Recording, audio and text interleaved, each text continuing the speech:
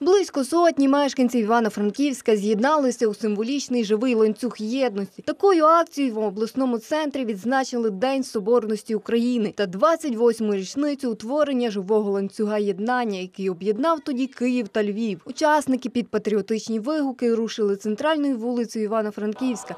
Далі франківці спільно виконали гімн України та випустили в небо кульки синіх та жовтих кольорів.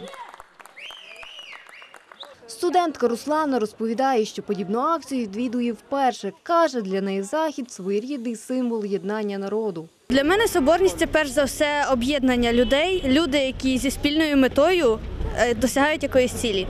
І тому я сюди прийшла, тому що живий ланцюг це ніби символ цього об'єднання. Ще один учасник акції Станіслав приїхав на неї спеціально з Городенки. Чоловік каже, радий, що у Івано-Франківську сьогодні зібрало стільки патріотів. Я радий, що є скільки однодумців в місті Івано-Франківська, також е, з усієї Івано-Франківської області. День Соборності це є е, неминуче єднання України.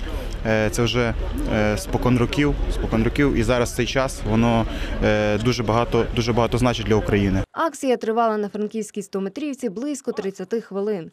Галина Марійчин, Ігор Попик, ТРК Карпати.